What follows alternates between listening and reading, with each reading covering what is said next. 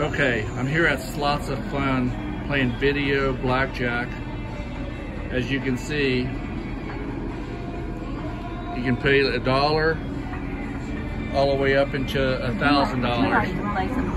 Well, anyway, long story short, I did his martingale and I had to stop at six losses in a row. So you cannot rely on that strategy to, to make money time and time again. I tried it and I tried it three times. Anyway, when it was all said and done, I ended up leaving with a $35 loss.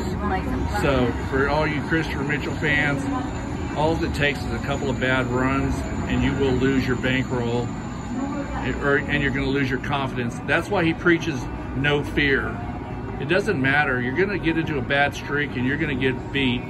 So I'm just telling you, for all you people that think you can win and do this professionally to support yourself, you're wrong. You're going to lose. Don't do it.